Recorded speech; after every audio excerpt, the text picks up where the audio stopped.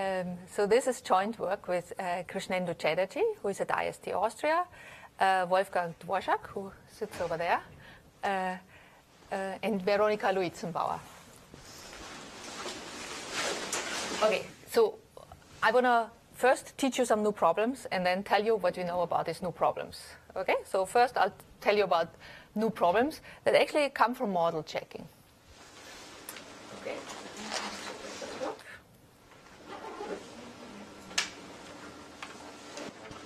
This, but doesn't seem to work. Okay.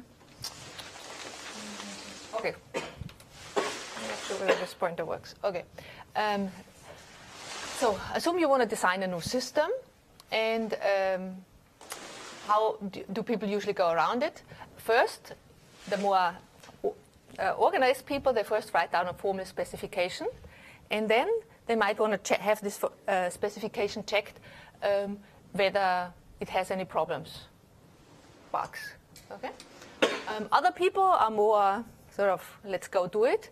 Um, so they first write a program, they implement something, and then they have a program that might have might be correct or not. They're not sure. So then they build an abstract model modeling the program, and then again they might want to have this checked. so the result of the model checker can be that it says, okay, we have not found any bugs, or it can be to say there are these and these problems, and then there's a feedback loop, and they might adjust then the program or the specification or even the system design. So now we want to talk about this part here. What algorithmic problems arise in the model checker? Okay, now there are multiple models that people use, and I will introduce the first two, um, which are also the easiest ones. I would like to point them. Okay, which are also the easiest ones. Um, so one is simply directed graphs. So the node in this graph will be a state of the system. You can think of the state of a system as uh, the value of all possible variables in your program, for example. And the edges in the system are as follows. If there is a way uh, to have a transition from one state to the other state, you insert an edge.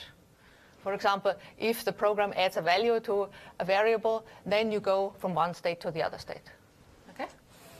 Good. So that's the simplest thing. However, uh, very often there are some inputs from the outside world. And uh, so th- there might be system transitions that are not caused by your program because there's some input from the outside world um, for example, you get, might get some experimental data from the outside world, or you might have uh, some messages come in, and uh, these messages might come in over some lossy channel, so there is some random noise at, uh, that comes with this kind of information. Or you might also have some randomized protocols where you're not sure who succeeded in doing something. Okay, so they, these kind of uncertain situations usually are modeled uh, by introducing specific types to nodes. So our graph will now become a Markov decision process, um, very simply by saying nodes are of two types. Either they are of the first type, these are the nodes that we all know and love from graphs, the standard nodes, or they are random nodes. And every random node has a probability distribution on the outgoing edges associated with it.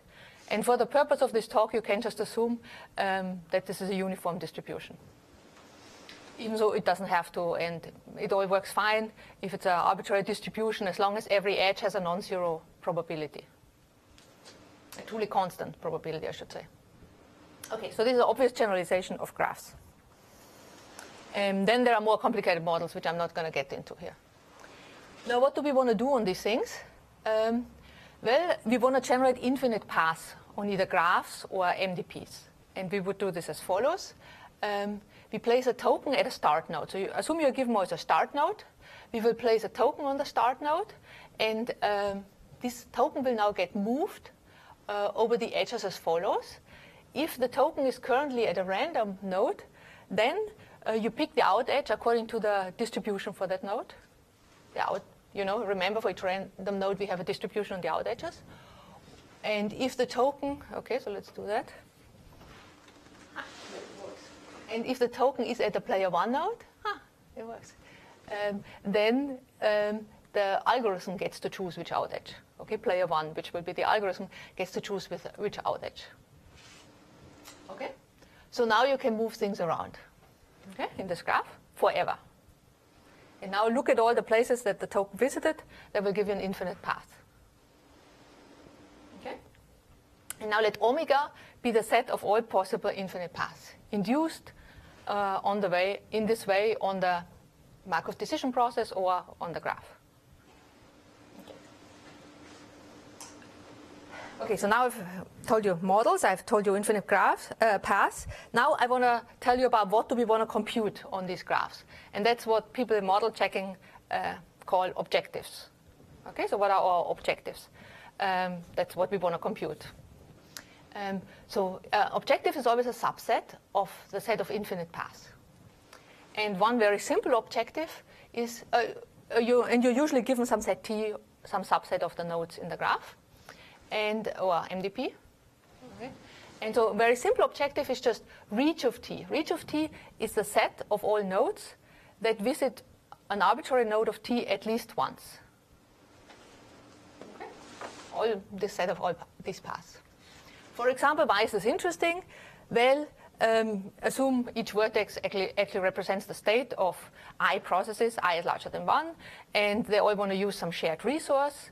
And then some T might be the set of states that represent uh, the situations where each process has used the resource at least once. And so if you want to check, is it true that every process will use the resource at, at least once? You want to check whether actually with your algorithm it's true that uh, reach of T is fulfilled. That all the infinite paths that are generated by your algorithm actually will visit a node in T at least once. now the dual problem of reach is safety. And dual means um, if you take the set omega of all possible paths, you take out reach. And what's left over is called safety of t. Now, safety of t are all the paths um, that never visit a vertex of t. And that's interesting because you, you, see if the set t is all the bad states, you want to be sure that you never get to a bad state. Okay? So that's the first, the most simple objectives are these two. And now let's do it let's go to a little bit more sophisticated objectives. So the next one is called Büchi, also called Buki for people who can pronounce Büchi. and I keep on going back and forth, excuse me, because I keep on working with people who can't pronounce it, so they say Buki, so I say Buki, but then I talk to my husband who says, this is Büchi. so I try to stick with Büchi. Uh, okay, so Büchi. Um, so these are all paths that visit T infinitely often, okay? And that seems like a good idea. Like if T is a set of states where process is in good shape, you know, you know, no problem so far, you want to get there infinitely often. And Büchi again the dual, so that's all the paths that visit T only finitely often. Okay. Um, so now you know four objectives. So now um, we have uh, models, graphs are MDPs, we have objectives. Now what do we want to do? So there will be three types of algorithmic questions. And I'll go again from the simplest to the most complicated one. The first uh, type is the decision version. And the decision version is as follows. Assume you, for a graph, you give them a start node. Is there an infinite path that satisfies the objective? Okay. Objective, you give them a fixed objective like reach or safety or bookie or co-Buki. Um, is there an infinite path that satisfies it? So for example, for a reach of t, it would be very simple. Is there a path from the start node uh, to a vertex in t?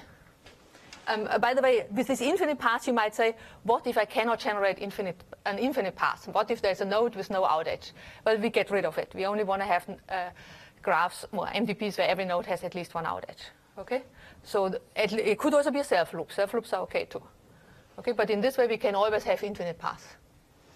Okay, and so if you have a path from the start node to vertex in T, just go to this vertex in T, and then from there on, there must be some infinite path, it doesn't matter, take any arbitrary one, that will generate an infinite path um, that visits T at least once.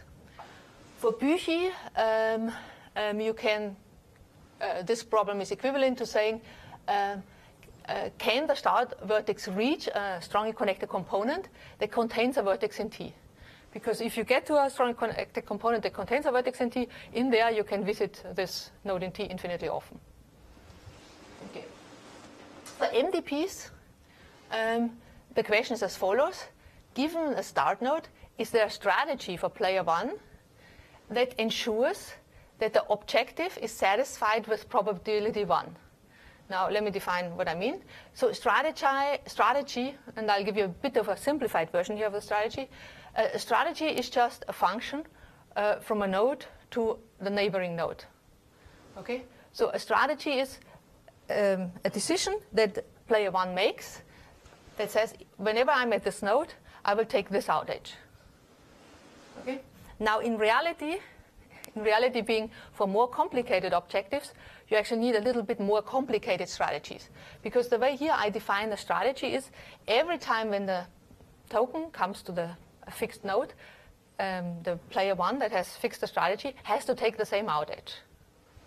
And for more this is fine you, uh, for the simple objectives. For more complicated objectives, you can actually show that the strategy also has to depend on the history, on the path that you have taken so far to get to this node. And so depending on different histories to get to this node, there might be different out edges that the player might want to take. But you can prove for the simple objectives that I've talked about so far, um, there exists a strategy, a more sophisticated strategy that looks at the history if and only if there exists one of these simple strategies, which means it's actually fine. Uh, the player can always take the same edge at the same node. Okay? So a strategy is a decision that the player makes that whenever he gets a node, he takes a certain out edge. And now the question is, uh, can he uh, ensure that the objective is satisfied with probability 1? So what does that mean? Look, for example, at this MDP. This here is a random node, has three out edges. Um, now, what is the probability that an infinite path gets to this node? At least once. Well, it's one. It starts there. Okay. What's the probability that an infinite path gets to this node at least once? Well, what can the infinite path do? It can be here, and it always has to pick a random out edge. So it will, it could pick this loop for quite a while, but at some point, with probability one, it's going to get off this node. It's either going to take this or this out edge. Whenever this happens, well, then it might get to this node or this node. And now player one, I should say, wants uh, the objective to be fulfilled. So player one is always behaving so as we, so that we can fulfill it. Okay. So whether uh, the token comes here or here, player one will choose the edge that makes the objective be true. So if we want to get reachability for this node D here, we want to get there, player one will make it sure. This means that with probability one, we will get to this node. Okay. So if we make, if we ask reach for this node, it's going to be uh, uh, this node will be in it because the probability of reaching this thing here will be one. Good. Um, what about this node? What's the probability of getting to this node? Well, so again, we start here. We might do a few self loops. But then at some point, uh, the token will get off, either this one or this one. And now they're both equally likely. So actually, the probability of reaching this node is a half. And the probability of reaching this node is a half. Okay? So uh, player one cannot guarantee that this node here is reached with probability one. It cannot guarantee that this one is reached with probability one. Okay? So that's uh, the explanation of what it means that the objective is satisfied with probability 1. I'll, I'll have a few more examples. If the thing is happy and goes forward. Yeah, so if, uh, if I actually say uh, this node back here, node D is the set T, uh, what is reach? What, ah, yeah. So, so far so good, sorry. Now I'm going sorry. This was the decision version here of the problem. Now I'm going to the winning set version. So this will be my second algorithmic question. And this is the one that's usually studied. I introduced only the previous one to get you familiar with the problem and to make it easier to define this one. Okay, so the winning set computation, this is usually what they want. Uh, they being the people model checking. They wanna, they give you a graph and they give you an objective, but they will not give you a start node. But instead they say, find me all start nodes that such that is, this objective can be fulfilled. So uh, give me also on a graph, it means give me all start nodes for which there's an infinite path that satisfies the objective. Okay? So um, basically you can think of it as doing the decision version on every possible node in the graph. Okay? So for reachability would simply be find me all nodes that can reach a vertex in T. Or for Büchi, it is um, if no vertex in T belongs to a strongly connected component, well, then there is no starting node that can visit T infinitely often. Uh, so then you will return the empty set. And otherwise, uh, you return all nodes that reach um, an SCC. This you should say an SCC that contains a node of T. Because there might be multiple such SCCs that contain a node in T. Okay, and on MDPs, we have the corresponding problem. So again, you want to find all start nodes for which there's a strategy for player one to ensure that the objective can be satisfied with probability one. So just like before, we're doing this decision problem on all nodes, and all the ones where the decision problem said yes, these are the ones that we should return. Okay? So now here, assume that I, and this is usually called the almost sure winning set or just winning set. And up here, you can also talk, call it the winning set. So for example, here, if you say T is equal to this node D, what is the winning set? So we said already before that if you start from this node, um, you can definitely get here with probability 1. So the answer, this node will definitely be in the winning set for this objective. But also, if you're here, player 1 has a strategy to visit this guy infinitely often. Just go here and then stay here forever. Or if you're here as well, or if you already start here, you can also just loop forever. Okay? So actually, if you make uh, D to be the target set T, the winning set is V. If you uh, say B or C, these are our target sets, these two nodes. The target set consists of T, these two nodes. Well, obviously, D cannot be in the winning set. There's no way for D to get to B or C. Um, now, what about B itself? Well, B itself, of course, is in the winning set. You, if you start here, you just stay here. Um, what about C? Um, C is not in the winning set because from C you can only go here. Mistake. You can only go here. And A now, A is actually also in the winning set. Why?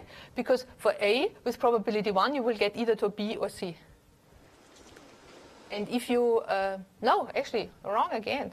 A is also not in the winning set because if you manage to get here, then you go over here, and you will not see this, uh, sorry, for reachability, sorry. For reachability, it is in the winning set. For Büchi, it's not in the winning set, sorry. For reachability, if you started here with probability 1, you get either to B or C and then you have seen it once. You don't need to do it infinitely often for reachability. Sorry. Um, and so C was also in the winning set because if you start here already, you have seen it already once. Okay, fine. So that was still the simple case. The more sophisticated case is if you only have B, if the target is only B, what's happening then? Well, D will not get to it, C will not get to it. What about A? A has only a probability half to getting to B, thus it's also not in the winning set.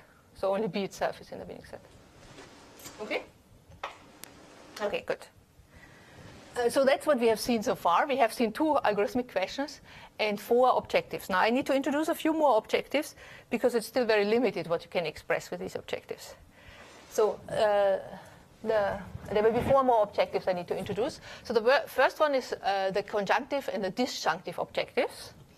Now what are conjunctive objectives? Assume you have a list of objectives. Um, now assume you want the intersection of these objectives. Remember that for objectives, it's a set of infinite paths. And so this is the intersection of these sets. Okay, so for example, reach of T1 and reach of T2 would be all paths that have to reach a node of T1 and of T2.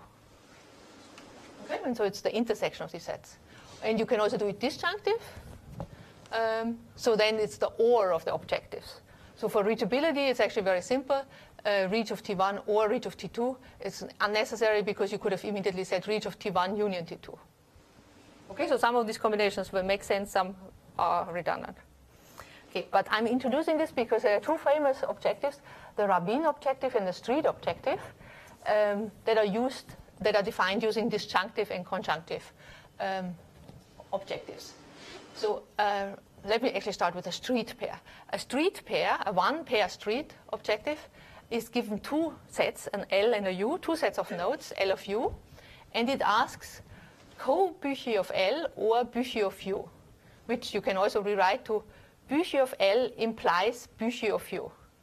So what this says is uh, we want to have all paths, infinite paths, and if a path has visited L infinitely often, that's what Büchi says, then it also must visit U infinitely often. So if you think of L as being a potentially dangerous state, but you know that the nodes in L are okay if afterwards you have visited a node in U. Then what you want here is it's okay to visit L infinitely often, but if you, you then must also guarantee that U gets visited infinitely often. So then you know every visit of L gets compensated for by a visit to U. Then there's a generalization of both Büchi and Cauchy. And so the Streett objective is now, you're not just given one such pair, LU, you give them a whole bunch of them, K of them, and now you have the end of these. So for all these pairs, this condition, this one pair Streett condition must hold. Okay? And then the dual of it is the Rabin objective, which you just flip everything around. Uh, you get the one pair Rabin, this Büchi of L, and co-Büchi of U. So the path has to visit L infinitely often, and U only finitely often, and then you have the OR of the one Rabin. That's the Rabin objective. Okay, and so these are really well studied and well used. Okay?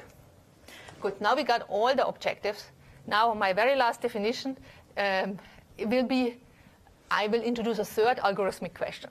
Okay, so we had already these two algorithmic questions. Here comes the third one.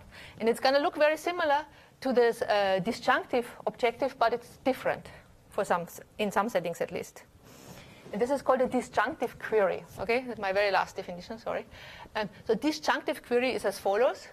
Assume you're given k objectives, give me all the start nodes such that there is a strategy that satisfies one of the objectives with probability one.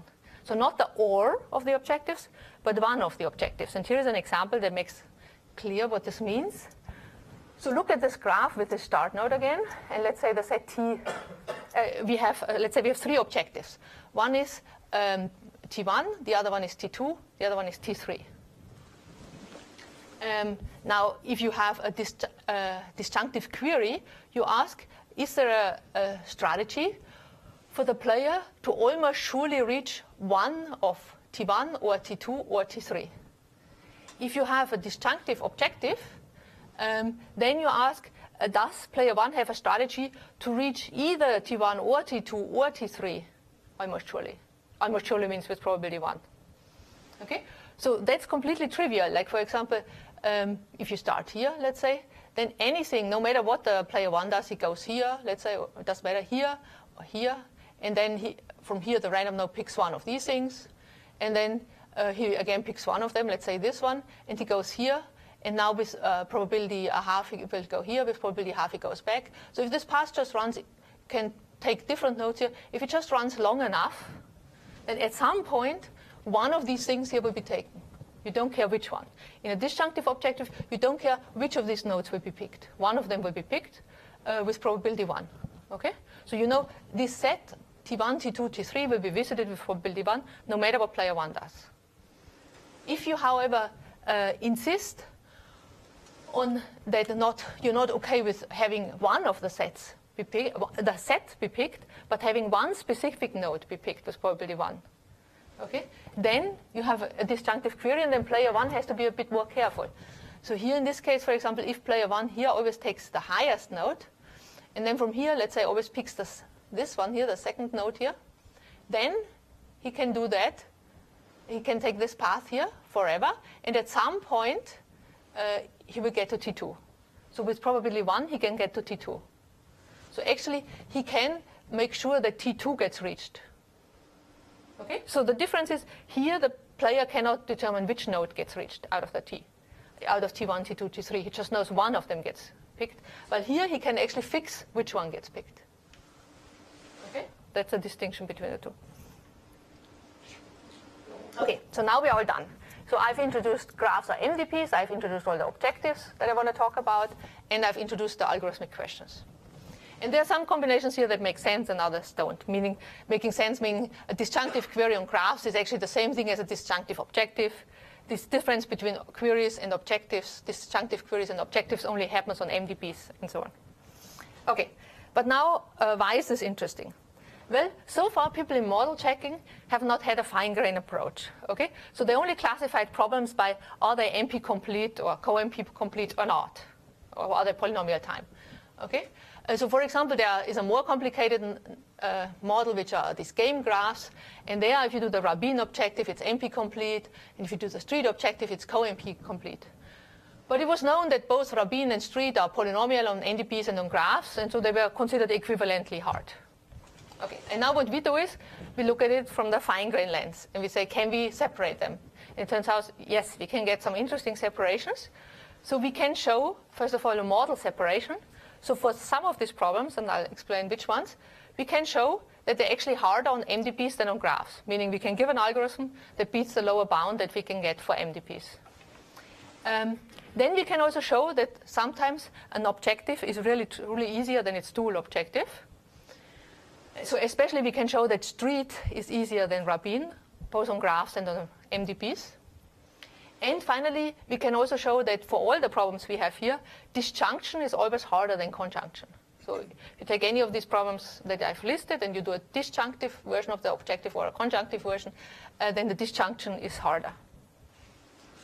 So specifically, so for separating MDPs to graphs, uh, we can show, even if you just take the simple reach or Büchi objective and you use disjunctive queries, then on graphs we have an algorithm that runs in time m plus n times k. So m is the number of edges, n is the number of vertices, and the k is the number of target sets that you have.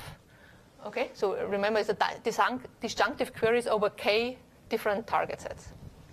Okay, we get this. While we get lower bounds on MDPs, which are larger than this, k times almost, quadratic in m, or just uh, almost quadratic, quadratic in m.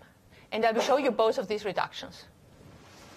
Um, and we also have, actually, for MDPs, we have an algorithm that matches uh, these upper bounds, at least for large enough values of k. So there's no hope that we can make this lower bound stronger. Um, and then also for co-Büchi, we can show a separation. Um, for, we can show a separation for an objective in its tool. and so the thing are very uh, the most proud of is the one that we can show that actually Streett is easier than Rabin, both on graphs. So we give an, an algorithm here so the green results are all the new results. This one here was from our previous paper here. We had given an algorithm for Streett for n squared plus nk log n. And we now have this lower bound on Rabin. It shows that this is harder. And uh, actually, we also have a new algorithm generalizing the previous one on graphs to MDPs for Streett on MDPs, which again uh, is faster than the lower bounds we can get for Rabin. Okay, and finally, uh, the separating separation between conjunction and disjunction. So for all these problems here, um, we can show that uh, conjunction is easier than disjunction. And now in this talk, I've given you a bunch of definitions, but I will show the proofs uh, for the disjunction of reachability in graphs or MDPs, uh, in MDPs actually, um, because uh, you know it's easier when you go to prove when you see all these new models to concentrate on one and show the proofs for that. Okay, so I'll do I'll show you here. I'll show you, yeah, this one here, this lower bounds here, and then I'll show you an algorithm which shows that this is tight. Okay. And so this will be a reduction from triangle detection. Um, you know uh, triangle detection. Um, so we assume here that there's no combinatorial time algorithm that runs in subcubic time uh, that detects whether the node, uh, whether the graph contains a triangle. Okay, and we, this will give you this bound here. And the reduction is as follows. So take your graph G and make uh, four copies of the nodes. insert edges as usual. If there was an edge from A to B in the original graph, insert edges here between all these layers. Insert a start node at the beginning. Oh, and then make a fifth copy. Okay, But the fifth copy is connected as follows. These, all these nodes here are player one nodes, except for the fourth copy, which is a random node. And then it has an edge to these target nodes. Okay, so the fourth, the fifth copy of the graph will be the target set TA, and the target set TB, and the target set TC. Each target set consists out of one node. Okay. So now, what's interesting? So assume there exists a triangle in this graph. Okay, let's just say you can go A, B, C, A. Then um, there is a strategy for player one to make sure that this set TA here is reached. How? Well, uh, the player should just follow the triangle all the time. Okay, so he, when he's here at the start, he goes to the node that's on the triangle, let's say A, and then he follows the triangle, gets here.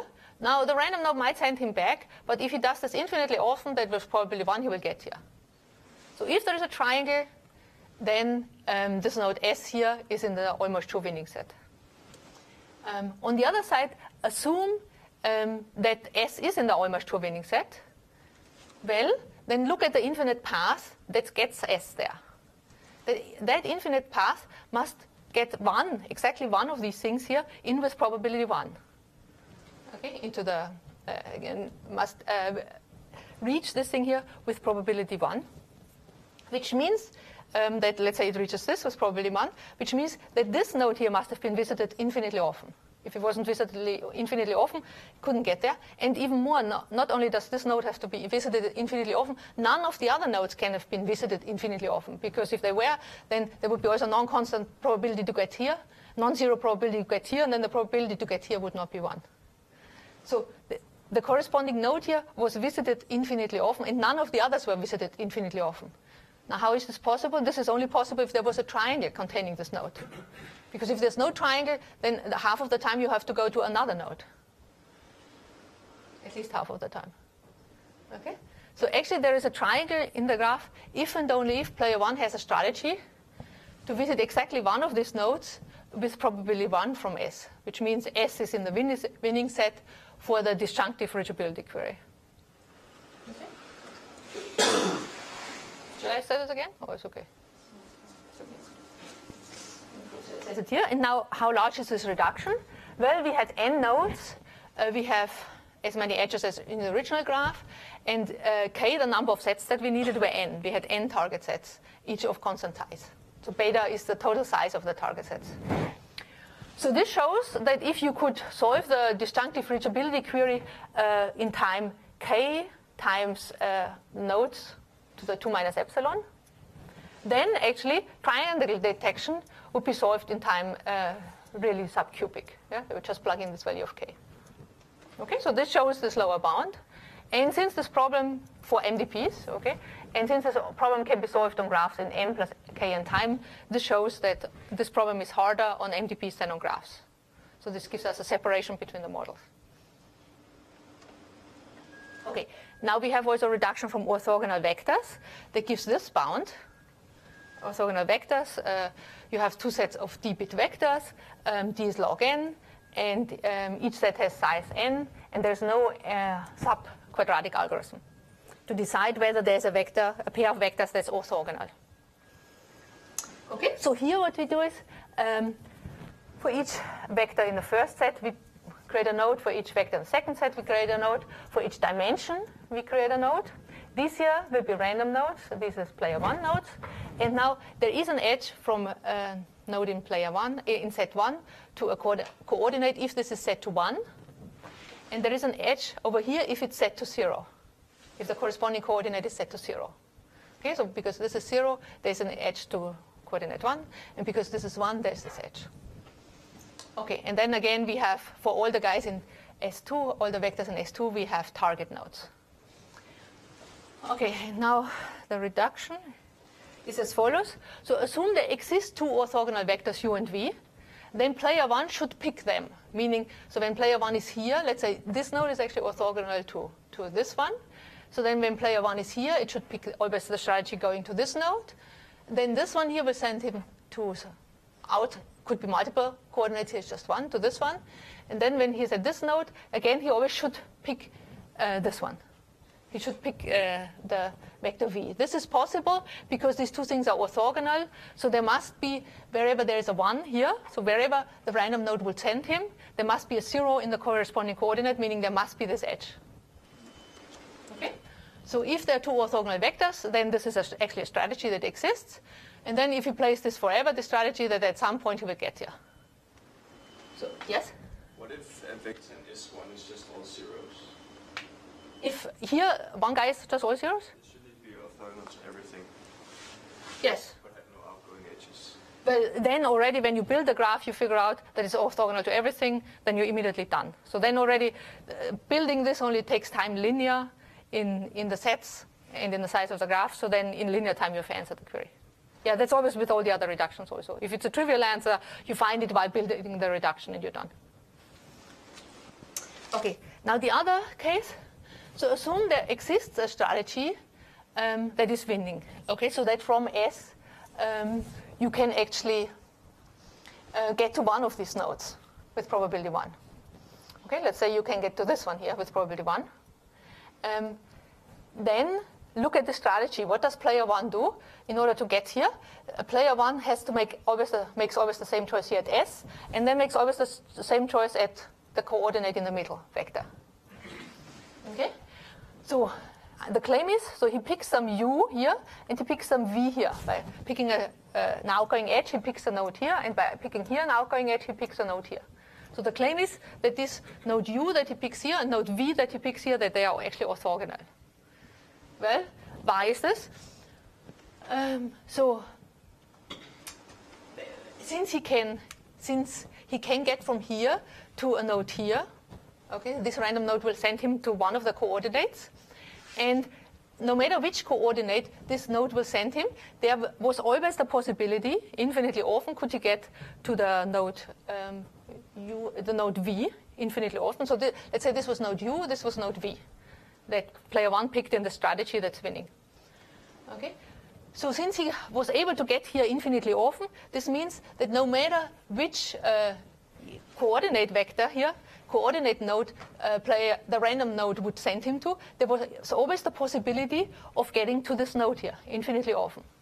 This means that no matter where the ones were here, so this guy can only send him out if there's a 1 in the coordinate. He can only send him to a coordinate if there was the 1 here. So no matter which one, like for example for this one, he could send him to all three. But no matter which one he sent him to, there was always for him the possibility to get to the corresponding um, V node, which means there must have always been an edge to the V node, which by our definitions of the edges means there must have been a zero. So everywhere where there is a 1 here, there must have been a 0 here. So for, I mean, this guy is not orthogonal, but this guy is orthogonal to this one. And so um, he has only one out edge, but if there had been another coordinate with an out edge here, let's say with a 1, and the, there was always a possibility to get here, that means there must have been an edge here, which means there must have been a 0 on this, on this coordinate for this node up there, because uh, there was this edge here. So the, from the fact that there is an edge, we can deduce that wherever there's a 1 here, there is a 0 here, which means that these two vectors are orthogonal. Okay. And now the size of this reduction, again, it uses um, n nodes and n log n edges. And so the same argument as before then shows that if you could solve this faster, then um, edges uh, subcubic in the num- subquadratic in the number of edges, or k times the number of edges to the 1 minus epsilon, then you would solve orthogonal vectors faster. So this gives you the lower bound uh, uh, relative to the number of edges. Okay, okay. I have five minutes left. I started a little late. Yes? Okay, good. So now let me quickly tell you about the algorithm uh, for disjunctive reachability in MDP. So this is the upper bound that shows that these lower bounds are tight, at least for large values of k. Now I have to introduce the notion of a random attractor. A random attractor is defined algorithmically as follows. You're given some set u of nodes, uh, which you set a equals, you initialize it with the set u. And so as long as you added node to a in the last iteration, you keep on performing this iteration. You add to a all player one vertices uh, where all the out edges go into a. Okay? Or, so let's say if you had this, and you also add to a all random vertices that have at least one out edge into a. Okay, so like here, if this was your set u initially, then this one does not have all its out edges going into u. You can't add it yet. But this one has at least one edge going into u. So you can add it to a. And now um, you have added something to a in the last iteration, so you continue. So now for this node, all its out edges go into a. So now you would add this node. And also, this one now has one edge going into a, so this one. And that's it. You cannot add any more nodes. So this would have been the random attractor of U. And what does the random attractor actually capture? Well, all vertices um, that are in the random attractor have a positive probability uh, to reach U no matter what player one does. So the random attractor are these nodes where player one with at least constant probability will get into, meaning he cannot get to the good set. So these will be the bad guys. So if you know that you for somehow bad set, then these are the ones where player one will not be able to get to the good set. Because with constant probability, he will get to the bad set, so he cannot, with probability one, get to the good set. Okay, so this is the random attractor. And now here's a very simple uh, NM algorithm for um, reachability in MDPs. um, which works as follows. It's also called almost sure reachability, so ASR, almost sure reachability, which works as follows. Um, so you have your set T, and first you do just regular graph reachability. So ignoring the type of the nodes, whether they player one or random, you just do reachability, and this gives you some set S. S will be an overestimate of the winning set. There will be guys in there who will not then finally be in the winning set, but at least they are an overestimate, so you know everybody who's not in S, they are really bad. They will definitely not be in the winning set because they don't even have a path to T. T is where you want to get to. Okay? So now you can take V minus S out, but not just V minus S, you can take out the whole, the whole random attractor of V minus S. So everybody, every node that has, might get pulled into V minus S with non-zero probability. You take them all out. And then you repeat, you said V to be V minus A, and you repeat until there's nobody, no such node left, until A is empty. And if A is empty, then you know V minus S must also have been empty. So everybody can at least do the graph reachability in T. And then there's a somewhat sophisticated proof uh, that shows that actually in this set, in this case, S, whatever left then in S, is actually a good set, is the winning set. So as long as every node can actually reach T, and you, you have taken out all its, for the bad ones, you have taken out all the random attractor, then you can prove, it's not obvious, okay, then you can prove that this is actually the winning set. Okay, so this algorithm was known, and actually I had, uh, Krishnendu had improved it to m to the 1.5, and I had improved it with Krishnendu to n squared, um, this algorithm. And now, if you want to do disjunctive reachability, remember that's what we're working on, disjunctive reachability for k targets, you could just run this k times and get this running time. However, we can do it better. Um, we can do it, I'll skip this example, okay, this just shows how the things works. Um, and I need my very last definition, uh, which is also a good problem to know actually, because again, we don't know a linear time algorithm. And this here is very similar to strongly connected components. So it's called maximal end component decomposition. Okay, and this is a corresponding thing to strongly connected components in graphs.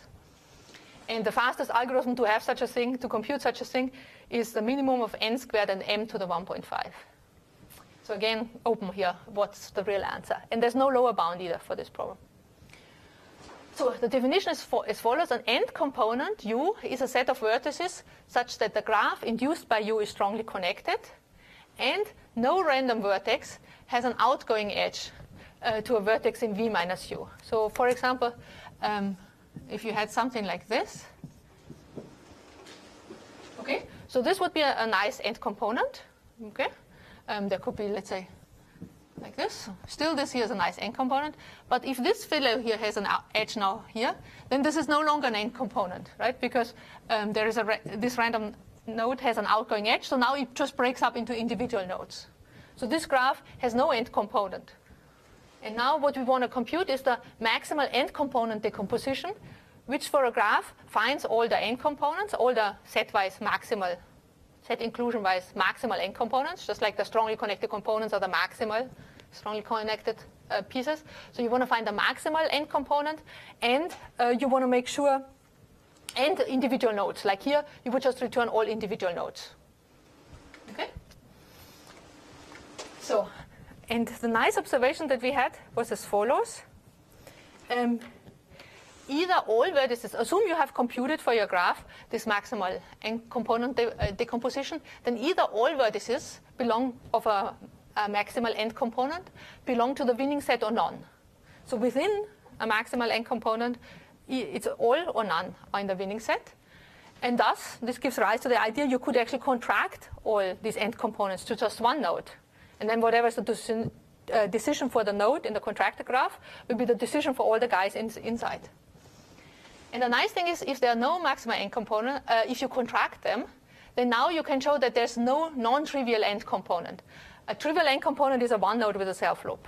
A player one, one node with a self loop. So there will be no non-trivial uh, end component. And now we had this observation that if the MDP contains no non-trivial end component, then actually just one iteration of this previous algorithm suffices to find a winning set. Okay, and here um, you have to modify the proof of the previous algorithm to prove this. Okay. So this gives us this very simple final algorithm. You compute the maximum end component decomposition. You contract all the maximum end components that you found. And now for each of your uh, target sets, you run one iteration of the previous algorithm, which means you find a set S that, that can reach TI, you take out its random attractor, there's some slight modification which doesn't affect the running time, and then V minus A is the winning set okay, for this target. And so since you are dis- disjunctive, disjunctive, you will take the union uh, of all these winning sets. And then in the end, of course, you have to undo the contraction to output the final winning set. And so this algorithm has just running time k times m, right? Because this is just linear time. All the steps here are linear time. k times m plus the time for the MEC decomposition, which I told you was n squared or m to the 1.5. And so this upper bound here actually matches the lower bound, um, which you, the previous lower bounds you could also rewrite as follows. And so for k that is at least square root m, the upper bound and the lower bound matches, because then the MEC does not dominate the running time. The time to compute the MEC doesn't dominate the running time. Okay, so now um, what are the open problems? Well, it turns out that for all these problems here, the reachability in MDPs that I just talked about, or computing the MEC decomposition, or the Streett problem, and for the Streett problem that's even true in graphs, there is no linear time algorithm, and there are no conditional lower bounds. So it's wide open what is the right answer here. The upper bounds are like this. And then also the Rabin on MDP still has a gap. So we have shown this lower bound, but we have an upper bound that's only like this. We have an algorithm for this, so there's also a gap. And then for some of these lower bounds, we actually need the combinatorial assumption. Like for triangle detection, the assumption is there's no combinatorial algorithm. Uh, for orthogonal vectors, there's no combinatorial algorithm for that. And what if you, assume, what if you uh, remove this assumption? Um, this means that now algorithms with fast matrix multiplications are allowed. But there is no algorithm using any tricks of fast matrix multiplication to give a fast, like would give a fast algorithm. Okay, all the algorithms that are known are combinatorial. So could there be faster algorithms using some ideas from fast matrix multiplication? Thank you.